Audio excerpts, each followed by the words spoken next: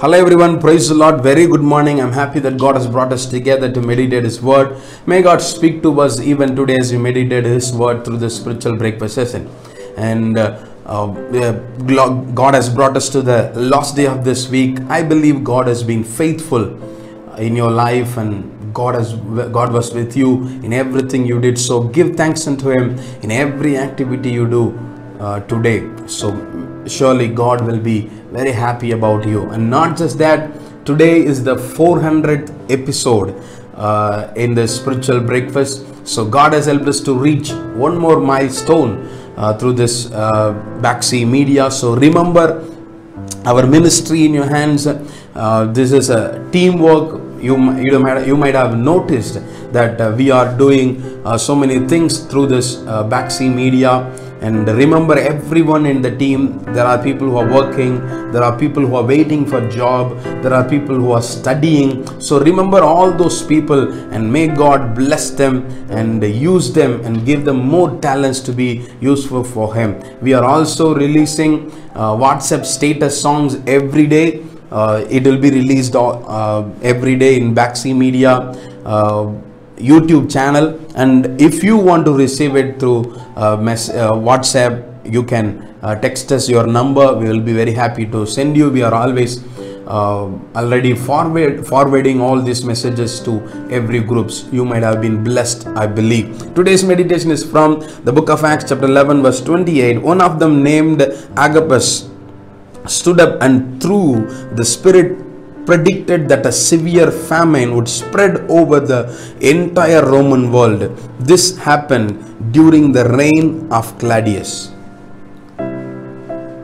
So, this man, if you read the previous verse, you can see that there were so many uh, prophets in Jerusalem. From so many prophets, a few prophets came to Antioch, and as they came to Antioch, this man Agabus he came up and he spoke boldly about the future. He prophesied about the future. If you look at the current generation this event is lacking. He was just go through the uh, prophecy he made he made there will be a severe famine. He was very clear about it but if you, if you look at I, I, I see as I see the prophecies that has been preached in this generation or in our time I see that uh, they are not accurate I would say. They are making the approximate guesses we can say.